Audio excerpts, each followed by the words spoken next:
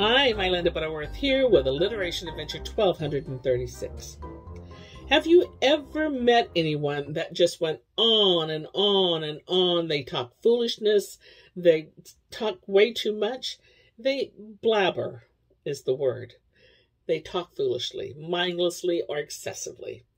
And that is what our alliteration tongue twister is about. And it is a mouthful. Are you ready for this? Three times quickly. Here we go. Billy Bob blabbered boldly. Billy Bob blabbered boldly. Billy Bob blabbered boldly. You notice I didn't say quickly because blabbered is a difficult word to say. Let's do it again just a little slower. Billy Bob blabbered boldly. Well, there you go. I hope you enjoyed it. We'll see you again soon. Bye for now.